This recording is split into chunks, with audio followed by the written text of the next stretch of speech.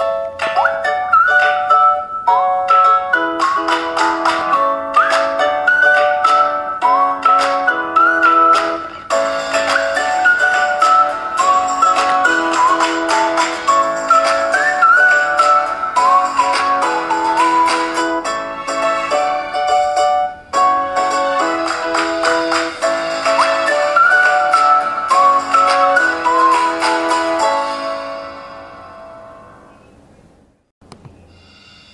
Popote pale ulipo rafiki ninakukaribisha katika mafundisho ya neema na kweli. Jina langu naitwa huruma gadi. Nina furaha kwamba umeweza kuungana nami kwa mara nyingine tena ili kuweza kusikiliza kile ambacho bwana yesu ametuandalia. Uh, kumbuka tu mafundisho ya neema na kweli yanakuja kwako kila siku muda na wakati kama huu kama unanisikiliza kwa njia ya redio. Na kama unasikiliza kwa njia ya mtandao wa kijamii ama podcast basi mafundisho hayo yanakuwa posted kila siku. Uh, kumbuka mafundisho ya neema na kweli yametengenezwa makususi kwa ajili ya kujenga imani yako wao unayenisikiliza ili uweze kukua na kufika katika cheo cha kimo cha utimilifu wa kristo. Kwa lugha nyingine ufike mahali uweze kufikiri kama kristo uweze kuzungumza kama kristo na uweze kutenda kama kristo. Zingatia kufikiri kwako kuna mchango wa moja kwa moja katika kuamini kwako. Na kuamini kwako ndo kutakachoamua matokeo katika maisha yako yaweje. Ukifikiri vizuri utaamini vizuri utatenda vizuri. Ukifikiri vibaya utaamini vibaya utatenda vibaya. Hivyo basi fanya maamuzi ya kufikiri vizuri na kufikiri vizuri ni kufikiri kama kristo.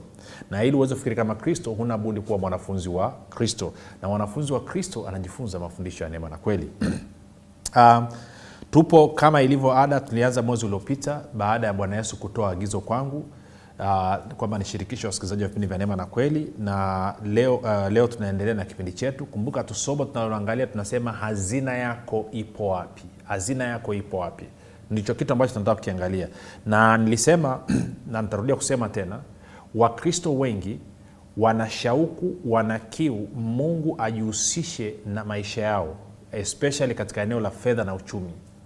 Na nikakwambia kipindi kilichopita kwamba mungu hana shida na fedha yako ila ana shida na moyo wako. Kwa nini? Kwa sababu mungu macho yake yanazunguka ulimwenguni mote anatafuta mtu ambaye moyo wake unamtegemea yeye mungu kwa ukamilifu ili ajionyeshe mwenye nguvu. Mungu anafanya maamuzi kwa kuangalia moyo wa mtu. Hafanyi maamuzi kwa kuangalia mazingira ya nje. Angekuwa anafanya maamuzi kwa kuangalia mazingira ya nje maana yake nini? Maana yake ni kwamba uh, ingekuwa ukipata shida kidogo tu. Okay kumbuka imani inatenda kazi kwenye moyo.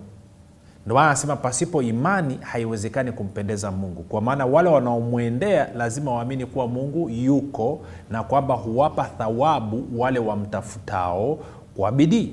Na kwa sababu hiyo basi rafiki mungu anataka moyo wako. Kwa nini anataka moyo wako? Moyo wako ndio utampa fursa ya yeye kujihusisha na uchumi wake. Kumbuka mungu ni baba yako rafiki hakuna mzazi hakuna baba mahali popote duniani ambaye anafurahia watoto wake wakawa na maisha duni. Hiyo kitu haipo.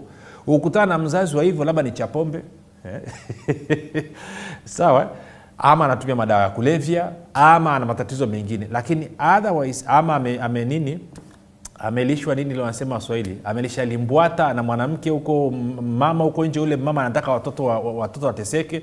Kwa hiyo hela yote anapakua yeye lakini otherwise katika hali ya kawaida mzazi yoyote baba yoyote anapenda na kufurahia ustawi wa watoto wake. Hivyo basi bwana yesu akatuambia ikiwa ninyi mlio waovu mnajua kuwapa watoto wenu vipawa vilivyo vyema je si zaidi sana baba yenu wa mbinguni hata zidi kuwapa vipawa vilivyo vyema wao wamwombao? Si moja rafiki haya mambo mungu biblia inasema kabla hawajaomba nitakuwa nimejibu. Akiwa katika kusema nitasikia. Changamoto yoyote unayoipitia sasa hivi tayari mungu alishashughulika nayo miaka elfu mbili iliyopita. Tayari mungu alishaandaa majibu. Wewe utakapojua kwamba hela hii inahitajika sasa hivi tayari alishaandaa majibu. Tayari ndivyo mungu anavyotenda kazi rafiki. Sijui kawa nanyelea nachokizungumza sasa lakini ili hayo majibu yaweze kukufikia lazima moyo wako awe nao. Ok bwana yesu akasema hivi ukisoma matayo 12 ukaanza mstari wa 33 mpaka 36 37 pale anasema especially wa 33 anasema kinywa cha mtu huyatamka ya ujazayo moyo wake. Sasa kumbuka isaya 65 24 amesema kabla hawajaomba nitajibu wakiwa katika kusema nitasikia. Kwa hiyo mungu anavyosikiliza sio tu kwamba anaona kilicho katika moyo wako lakini pia anataka asikie kile ambacho unakisema kinachotokea katika moyo wako. Ili nini? Kwa ushahidi wa watu wawili jambo lolote linakamilika. Wakorinto wa pili 131 shahidi wa kwanza nani? Mtu wa ndani ambao ni ndani ya moyo wako na mtu wa nje kupitia mdomo wako. Kwa hiyo una mdomo wa ndani. Anasema usiseme moyoni mwako kwa hiyo moyoni mwako ameshaona lakini pia anataka asikie na mtu wako wa nje anasema nini. Tuko sawa? Kumbuka mtu ni roho ana nafsi anakaa ndani ya mwili. Tunaenda sawa rafiki? Kwa hiyo mungu anataka kukutana na mahitaji yako. Kabla hawajaomba nitasikia. Kabla hawajaomba nitakuwa nimejibu. Wakiwa katika kusema nitasikia. Maana yake anataka asikie kile kilichoko ndani ya moyo wako. Sasa ukifungua mdomo ukaongea kinatoka nini mungu tarudia tena. Mungu ni baba yako. Anataka kukutana na mahitaji yako. Tuko sawasawa sasa ndio maana njia mojawapo anayoitengeneza ya kukutana na mahitaji ya watu maana yake ni kwamba anataka mioyo ya watu. Lakini mioyo njia mojawapo ya moyo wako kwenda kwa mungu ni kwa fedha. Moja tusome mistari miwili harakaraka haraka nikuonyeshe kanuni alafu tutakwenda kwenye kwenye kwenye agano nani kwenye stori ya elia alafu mambo atakaa vizuri. Sasa sikiliza. Nilisema jana kwamba kama ukisikia mtumishi mahali popote anazungumzia eneo la fedha ama anasema kwamba watu watoe alafu ikakukasirisha ikakukera. Maana yake ni kwamba una shida zaidi. Kuna roho nyingine ambayo inakutawala tunaita spirit of mammon kwa lugha ya kiingereza. Wanyakyusa nadhani anaita roho ya mamoni eh, tuko sawa? Kwa kiswahili tungesema roho ya kupenda mali roho ya kupenda vitu ni roho ya kijicho roho ya kwa nini roho ya kwa nini. Na tunaona historia. Ngoja- labda kabla ya kwenda huko moja nikuonyeshe kitu. Nizungumze Ni- twende matayo kwanza. Nitakuonyesha stori mbili labda itaeleweka. Uh, na muda unakimbia kwelikweli kweli. Yesu ni bwana. Twende matayo tena mlango ule wa sita. Sawa? Alafu ntaanza ule mstari wa 19 tena. Sawa? Alafu anasema hivi tutaenda mpaka mstari wa, wa 23 anasema msijiwekee hazina duniani nondo na kutu viharibupo na wevi huvunja na kuiba bali jiwekeeni hazina mbinguni kusikoharibika kitu kwa nondo wala kutu, kutu wala wevi hawavunji wala hawaibi. Nikawaambia jana dawa ya kachuma ulete ni wewe kuwa kingdom financier wewe kusapoti kazi ya injili. Ukifanya hivyo unakuwa umemzuia mharibifu na mwibaji kushughulika na uchumi wako. 21 anasema kwa kuwa hazina yako ilipo ndipo itakapokuwapo na moyo wako. Kwa hiyo kwambia mungu anapotaka umtoleni kwa sababu anahitaji moyo wako. Sasa sikia mstari wa 22 anasema taa ya mwili ni jicho. Basi jicho lako likiwa safi mwili wako wote utakuwa na nuru. Lakini jicho lako likiwa sasa bovu hii ni tafsiri mbovu. Naomba nisome kwenye huo mstari wa 23 nisome kwenye bibilia ya neno tafsiri ya neno. Sikia tafsiri ya neno anavyosema. Anasema hivi. Haleluya. Anasema lakini kama jicho lako ni ovu mwili wako wote utajawa na giza. Kwa hiyo basi kama nuru iliyomo ndani yako ikiwa giza hilo ni giza kuu namna gani? Kwa hiyo maanaake nini? Anasema kwamba kama jicho lako ni ovu anasema itasababisha mwili wako uwe na giza. Na giza tunajua ni picha ya ibilisi ni picha ya ufalme wa giza. Sasa anamaanisha nini anavyozungumzia jicho kuwa ovu? Kumbuka context hapa ni swala la matoleo. Anaendelea nasema kivipi? Nitakuonyesha. Twende kwenye kwenye matayo kwenye matayo uh, mlango wa ishirini.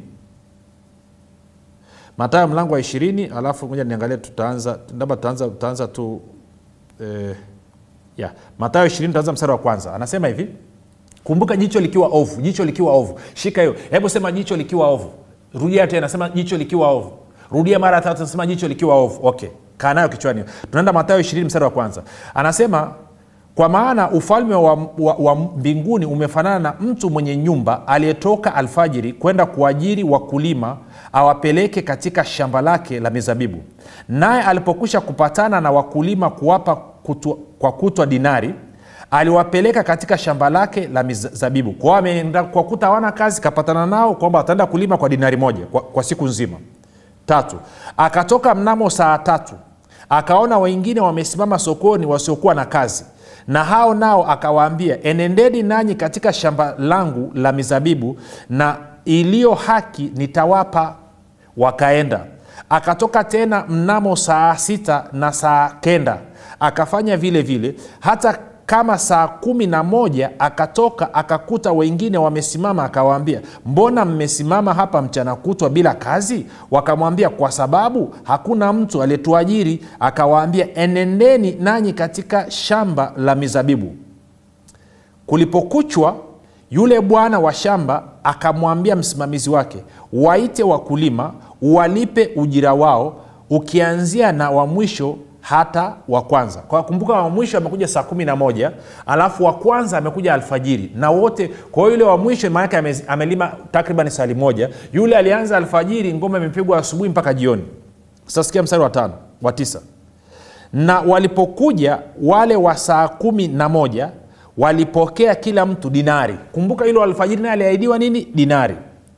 Na wale wa kwanza walipokuja walidhani kwamba watapokea zaidi na hao pia wakapokea kila mtu dinari. Basi wakiisha kuipokea wakamnung'unikia mwenye nyumba wakisema hao wa mwisho wametenda kazi saa moja tu nawe umewasawazisha na sisi tuliostahili taabu na hari za tuliostahimili sore taabu na hari za mchana kutwa kwa hiyo wanalalamika. Wanasema sisi tumelima tangu asubuhi mpaka jioni umetupa dinari. Hawa jamaa wamekuja saa kumi na moja jioni wamelima mpaka saa kumi na mbili umewapa dinari. Kwa nini unatupa sawasawa wakati sisi tumeteseka zaidi. Sasa sikia jibu la, la mwenye shamba mstari wa 13 naye akamjibu mmoja wao akamwambia rafiki sikudhulumu. Hukupatana nami kwa dinari? Anasema rafiki sija kudhulumu wewe hukukubali. Sio wewe uliyekubali kuja kufanya kazi shambani kwangu kwa ajili ya dinari moja 14 chukua iliyo yako uende zako. Napenda kumpa huyu wa mwisho sawa na wewe. Kwao mimi nimeamua napenda kutoa sawa na wewe. 15 si halali yangu kutumia vilivyo vyangu kama nipendavyo? Au jicho lako limekuwa ovu kwa sababu ya mimi kuwa mwema? Kwa hiyo anasema jicho lako likiwa ovu giza kuu ndani yako kwa hiyo ile stori ya kwenye matayo sita anavyozungumzia jicho taa ya mwili ni jicho alafu sasa jicho lako likiwa ovu anazungumza wewe kuwa na kijicho wewe kuona wivu wewe kuwa mchoyo. Anasema ukiwa mchoyo ndani mwako kutakuwa giza ndio maana wengine wakisikia habari ya matoleo kwa sababu wana roho ya uchoyo kwa sababu wana kijicho inawasumbua hawataki wanakataa wanakasirika. Kama wako kwenye grupu la mtandao wana lefti wanatoka. Kama wako kwenye redio wanazima. Kama kwenye tv wanazima. Kwa sababu gani? Roho ya mammon spirit of mammon inawatawala na kwa sababu wana kijicho na kwa sababu ndani mwao kumejaa giza. Sawa? Angalia anavyosema ntarudia tena msara 15 si halali yangu kutumia vilivyo vyangu kama nipendavyo? Au jicho lako limekuwa ovu kwa sababu ya mimi kuwa mwema? Vivyo hivyo wa mwisho watakuwa wa kwanza na wa kwanza watakuwa wa mwisho. Watu wakisikia habari wanasema ah, ah, watumishi matapeli tu wanajilimbikizia hela tu wanaonea watu. Si yote hiyo ni wivu unawasumbua. Sasa natumaini rafiki wewe unayenisikiliza huo ugonjwa hauna kama umesikiliza mtumishi anazungumzia habari ya matoleo na wewe hauko tayari kutoa usiruhusu ukaingiwa na makwazo ndani ya moyo wako. Bwana yesu anasema amebarikiwa asiyekwazwa na mimi. Kwa hiyo anapotuma mtumishi wake anasema nenda akawaambia watu wangu watoe alafu wewe ukaletewa ujumbe alafu ukakwazika ukakasirika. Maanake ni kwamba umekwazika na yesu. Sasa nafahamu kuna watumishi ni matapeli wanatumia fursa kama watumishi wanatapeli watu wengine sasa hao sizungumzii hao nazungumzia mtu ambaye ametumwa kwa halali. Mtu ambaye anafanya kazi yake kwa halali ambaye ametumwa na bwana yesu. Rafiki we mwenyewe ni shahidi. Vipindi vya neema na kweli vinakuja kwako kila siku. Kila siku pasipo kukosa. Kuna swala la muda kuviandaa. Kuna swala la gharama kuviandaa.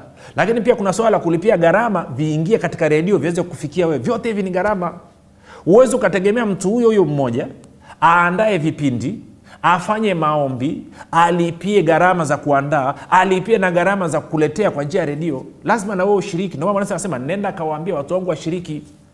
Kwa hiyo mungu ameweka kumbuka unaposhiriki kwenye matoleo maanaake ni kwamba mungu anataka kuonyesha wema wake. Lakini huo wema uwezi kufikia kama wewe hujampa moyo wako. Anahitaji moyo wako kwa sababu hazina ya mtu ilipo ndipo na moyo ulipo kwao chunga rafiki jicho lako lisiwe ovu. Maana jicho lako likiwa ovu kwenye eneo la fedha ndani mwao kunajaa giza. Kuna watu wakishasikia tu habari ya kumtolea mungu wanakasirika.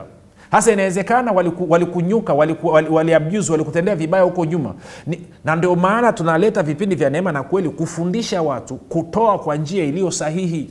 Ndio maana hata pamoja na kwamba nimeambiwa nilete agizo na bwana yesu nikuambie utoe siubiri najaribu kukufundisha na kukuonyesha njia na taratibu za mungu sasa twende tukaangalia stori ya elia. Tulishaisoma lakini kuna kitu nataka nikuonyeshe tena. Chap chap. Tende wafalme wa, wa kwanza. Mlango wa 17 na labda utaendelea nayo kesho tena. Mstari wa kwanza tunaanza. Anasema basi eliya mtishibi wa wageni wa giliadi akamwambia ahabu kama bwana mungu wa israeli aishivyo ambaye nasimama mbele zake hakutakuwa na umande wala mvua miaka hii ila kwa neno langu mbili neno la bwana likamjia kusema ondoka hapa geuka uende upande wa mashariki ujifiche karibu na kijito cha kerithi kinachokabili yordan. Nne itakuwa utakunywa maji ya kile kijito nami nimewaamuru kunguru wakulishe huko. Anasema nimeamuru kunguru wakulishe huko. Maana yake ni kwamba eliya asingeenda kwenye hichi kijito? Maana yake ni kwamba angekufa na njaa kwa nini? Kwa sababu kunguru wameagizwa wapeleke hela wapeleke chakula kwenye kijicho kijito. Kwa hiyo ilikuwa ni lazima eliya aende kwenye kijito ili aweze kuhudumiwa na kunguru. Asingeenda mungu ni mwaminifu. Kunguru angeendelea kupeleka chakula. Angalia mstari ule wa eh, mstari wa tano. Basi akaenda akafanya kama alivyosema bwana kwa kuwa akaenda akakaa karibu na kijito cha kerithi kinachokabili yordan. Kunguru akamletea mkate na nyama asubuhi na mkate na nyama jioni akanywa maji ya kile kijito. Kwao baada ya kutii na kwenda kwenye eneo husika ni kama vile ambavyo moja nikwambie alivyoniambia bwana yesu nije kwenye redio niwafikishie watu injili kwa njia ya redio maanake ni kwamba nisipotii maanake nakuwa sipo sehemu ambayo natakiwa niwepo. Na kwa maanayo yale mema yote ambayo alitaka kunifanyia hawezi kunifanyia tunakwenda sawasawa lakini pia kuna watu walitakiwa waweze kupatna na, na, na kazi alionipa bwana yesu ya kuwafikishia watu kweli ya kristo. Ina maana kuna wengine nitakutana nao tu ninapokwenda kwenye redio. Nisipokwenda kwenye redio siwezi kukutana nao. Ningesema nabakia tu nifundishe nyumbani nifundishe sijui kanisani zunguke sitakaa nikutana nao. Tuko sawa? Angalia mstari wa saba. Ikawa baada ya siku kupita kile kijito kikakatika kwa sababu mvua haikunyesha katika nchi nane. Neno la bwana likamjia kusema ondoka uende serepta ulio mji wa sidoni ukae huko. Tazama nimemwagiza mwanamke mjane wa huko akulishe. Kwa anasema nenda kule anasema kumi. Basi akaondoka akaenda serepta hata alipofika langoni pa mji kumbe mwanamke mjane alikuwako akiokota kuni akamwita akamwambia niletee na kuomba maji kidogo chomboni nipate kunywa. Alipokuwa akienda kuleta akamwita akasema niletee na kuomba kipande cha mkate mkononi mwako. Naye akasema kama bwana mungu wako aishivyo sina mkate ila konzi ya unga katika pipa na mafuta kidogo katika chupa nami nina okota kuni mbili ili niingie nijipikie nafsi yangu na mwanangu tuule tukafe. Eliya akamwambia usiogope enenda ukafanye kama ulivyosema lakini usi, unifanyie kwanza mkate mdogo ukaniletee kisha ujifanyie nafsi yako na mwanao. Kwa kuwa bwana mungu wa israeli asema hivi lile pipa la unga halitapunguka wala ile chupa ya mafuta haitaisha hata siku ile bwana atakapoleta mvua juu ya nchi basi akaenda akafanya kama alivyosema eliya na yeye mwenyewe na eliya na nyumba yake wakala siku nyingi. Lile pipa la unga halikupunguka wala ile chupa ya mafuta haikuisha sawasawa na neno la bwana alilolinena kwa kinywa cha eliya sasa nataka uone kitu hichi rafiki. Huyu mama mjane amebakiza mlo wa mwisho. Baada ya pale akifa anaenda sorry akila yeye na mwanaye wanasubiri kufa. Alafu mungu anamtuma eliya aende kwa huyu mama mjane na kuhakikishia katika huo mji wa serepta walikuwepo watu wengine wenye uwezo. Na kuhakikishia israel walikuwepo watu wenye uwezo ambao wangeweza kumtunza elia. Na bwana yesu analisema hilo katika luka mlango wa nne. Anasema walikuwepo wajane wengi israel lakini mungu akumtuma nabii kwa israel. Alimtuma aende kwa kwa, kwa nini? Kwa mtu asiokuwa israel mtu wa mataifa. Kwa nini? Kwa sababu wale watu wa israeli hawampokei yule nabii. Lakini pointi yangu ni kwamba huyu mama alikuwa anahitaji mungu amsaidie amtoe kwenye hiyo hali ngumu aliyokuwa nayo. Kwao mungu anajibuje maombi ya huyu mama? Anajibu maombi ya huyu mama kwa kupeleka mtumishi wake pale. Tuko sawasawa alafu mama anaambiwa kile kidogo alichonacho atoe kwanza kwa mtumishi. Alafu mungu anasema kwamba utakapomlisha mtumishi wangu kwanza ufalme wa mungu kwanza hicho ulicho nacho hakitakatika hakitakauka kitakutunza mpaka kipindi chote cha upungufu kitakapoisha. Mama anatii na neno la bwana linasimama kama vile bwana alivyosema. Sasa wengine wanamwomba mungu naomba unisaidie nitoe kwenye umaskini nitoe kwenye upungufu nitoe kwenye ukosefu na shida sijui ada ya watoto kodi ya nyumba na nini. Na mungu anasema niko tayari kukusaidia. Kwao leo hii nimemtuma urumagadi aje anakwambia toa hicho ulicho nacho sapoti kazi ya injili sapoti kazi ya vipindi vya neema na kweli. Na inaweza ikawa kwenye mtumishi mwingine hii ni kanuni na kufundisha sio lazima kwa urumagadi lakini maanake kwamba sema naenda akawaambie watu watoe kwa ajili ya vipindi vya neema na kweli. Kwa nini? Kwa sababu kuna watu wana changamoto za fedha na uchumi ambazo bwana yesu anataka kuwafikia. Na kwa maana hiyo anahitaji mioyo yao. Kwa hiyo wakitoa kwanza kwenye kazi ya mungu inamruhusu mungu apate fursa kupitia moyo wa huyu ndugu ili ashughulike na huo upungufu na ukosefu huyu mama alipochukua mlo wake wa mwisho na wa mtoto wake akampa elia kwanza ikasababisha pipa lisikauke unga chupa isikauke mafuta. Tunakwenda sawasawa rafiki?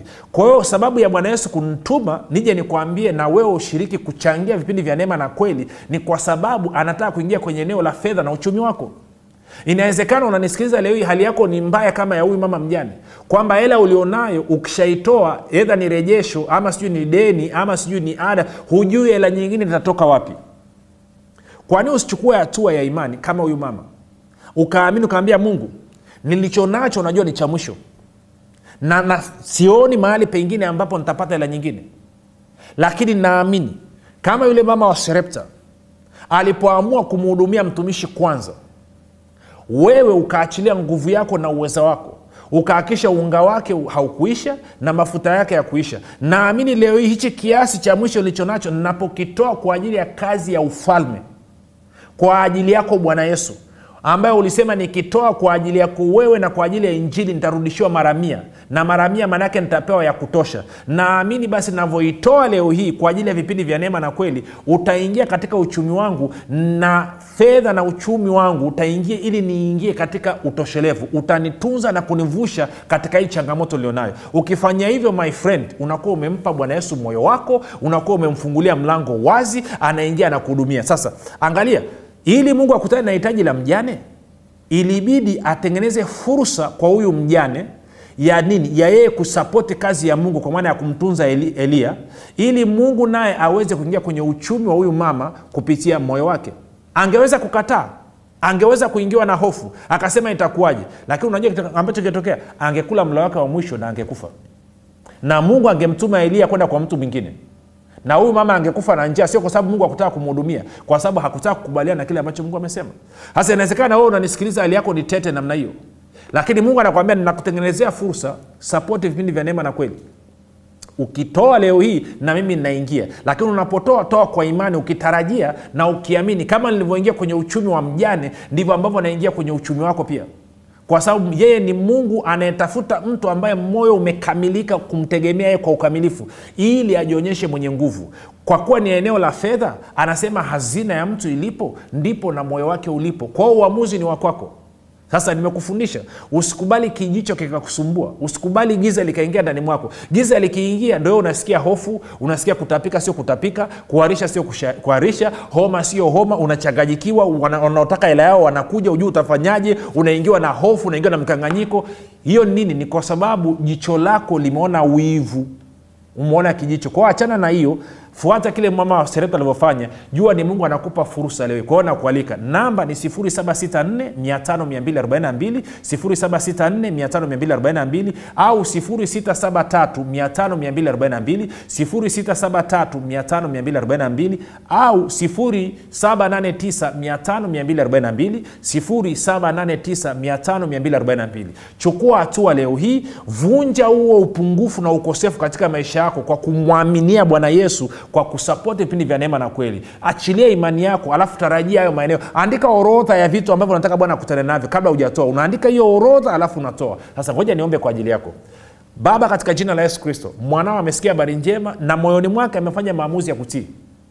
Nimemwagiza kama ulivyoniagiza. Aandike orodha ya mahitaji yake ambayo anataka wewe ukutane nayo mwezi huu. Na mimi nakubaliana na hiyo orodha ambayo ameiandika baba katika jina la yesu kristo anapochukua hatua na kuachilia imani yake kwa kutoa ninatamka kwamba kila kitu anachokihitaji unaachilia neema ya kuleta utoshelevu katika maeneo yote ili awe na riziki za kila namna na azidi sana katika kila kazi njema. Katika jina la yesu kristo nimeomba na kushukuru. Amen. Rafiki chukua hatua hakisha umefanya hicho ulichokusudia hicho ambacho bwana ameweka moyoni mwako. Basi mpaka hapo tumefika mwisho. Jina langu unaitwa huruma gadi na yesu ni kristo na bwana